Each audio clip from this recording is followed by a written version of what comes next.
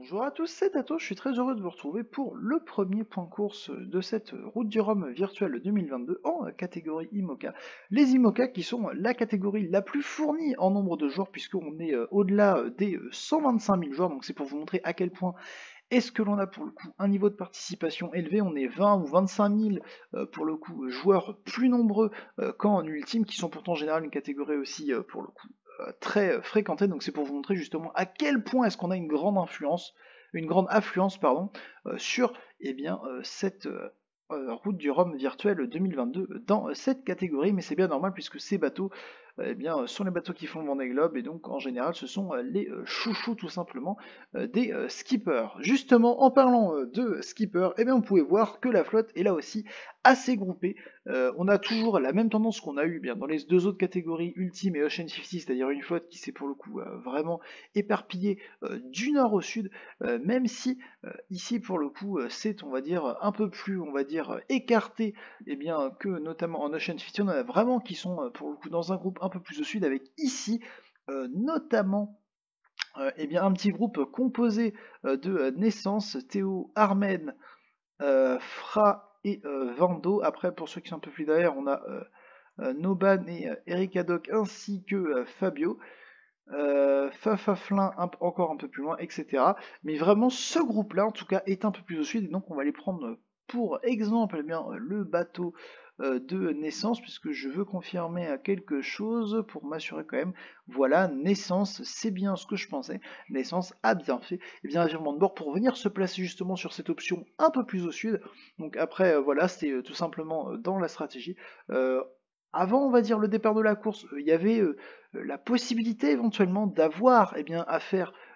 un euh, virement de bord. Et finalement eh bien euh, une heure ou deux heures après le début de la course cette option c'est finalement enfin a disparu. Et donc finalement si on regarde euh, d'un point de vue plus global, lorsque je remettrai la carte avec tous les joueurs tout à l'heure, et eh bien vous verrez euh, que eh bien, aucun des top VSR euh, de mémoire, en tout cas, n'a choisi d'apprendre une option plus au sud. C'est pour le coup une option voilà, qui, bah, qui peut être faite, qui je pense ne va pas trop coûter aux joueurs qui l'apprennent, mais voilà, c'est pas non plus forcément une option qui veut dire que ceux qui sont ici vont tenter d'aller au sud, puisque là encore une fois, on a toujours eh bien, le même dilemme que dans les autres catégories, c'est va-t-on avoir bien, une option sud, ou alors est-ce que tout le monde va filer à l'ouest, puisque là aussi, hein, les IMOCA, vu qu'ils ont des euh, performances assez proches eh bien, des Ocean 50, et eh bien, finalement la route eh bien, ne va que très peu, euh, on va dire, diverger, puisque vous voyez, on va faire bah, globalement euh, route et bien, vers l'ouest pour le coup dans les prochaines 24 heures. Et hop, si on regarde un peu plus dans le détail, vous voyez que pour le coup, on sera un peu moins avancé que les Ocean 50, notamment au moment où est-ce qu'on va sortir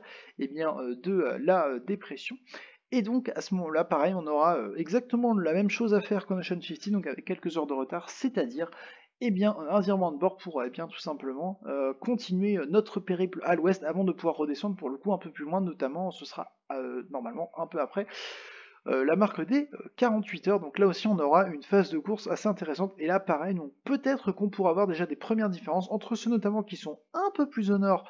euh, qui pourraient en bénéficier, ou à l'inverse ceux qui sont un peu plus au sud, là déjà on aura justement une petite réponse sur quel était le meilleur placement en ce début de course, et eh bien euh, pour cette catégorie IMOCA.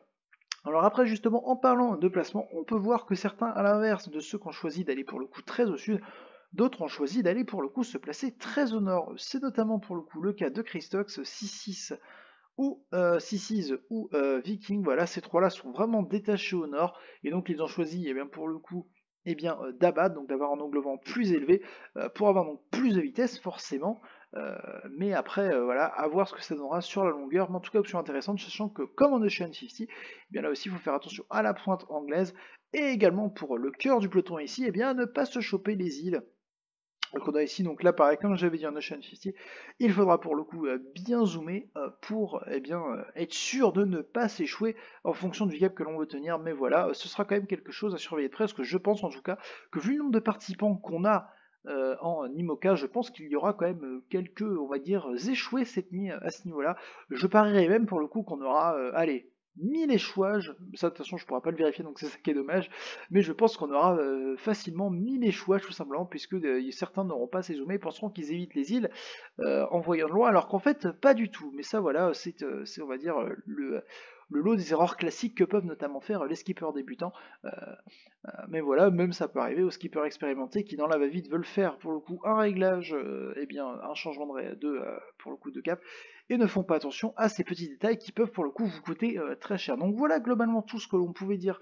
eh bien, sur eh bien, cette catégorie IMOCA. Là aussi, pareil, niveau des voiles, forcément, à l'heure actuelle, on est eh bien, justement, alors malgré que je sois en voile automatique, vous voyez le truc intéressant, c'est que je suis encore en génois léger alors que le code 0 est censé être la meilleure voile, donc ça c'est intéressant, j'irai regarder après. Mais justement, après avoir être passé en code 0, eh bien, on va passer très logiquement avec le temps qui va forcer, pour le coup en voile de brise, pour le coup, pour eh bien,